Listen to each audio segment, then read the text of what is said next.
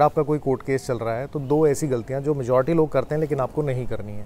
पहली गलती तो ये है कि जब आप कोई भी फाइलिंग करते हो या कोई दूसरी पार्टी कोई डॉक्यूमेंट फ़ाइल करती है, कोई एप्लीकेशन लगाती है, उसकी एक कॉपी आप अपने वकील साहब से नहीं लेते हो। एक तो आपको उसकी कॉपी अपने पास रखनी चाहिए, आपको फ़ाइल बना के रखनी चाहिए।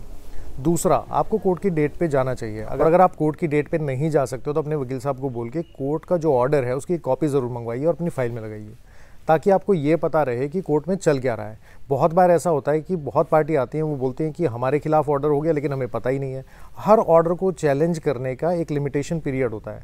और बहुत सारे case high court supreme court में आके सिर्फ़ इसलिए डिसमिस हो जाते हैं क्योंकि टाइम से उनको चैलेंज नहीं किया गया। अपील रिविजन जो है, वो टाइम से फ़ाइल नहीं हुई। तो ऐसा ना हो कि आपका केस बहुत अच्छा होते हुए भी सिर्फ़ लिमिटेशन के कारण डिसमिस हो जाए। और सबसे बड़ी बात, अगर आपको सेकंड ओपिनियन लेनी पड़ती है तो आप अपने वकील साहब पे डिपेंडेंट नहीं रहोगे कि वो आपको फ़ाइल की कॉपी दें ऑर्डर्स की कॉपी दें, तब जाके आप किसी दूसरे लॉयर को फ़ाइल दिखा सको।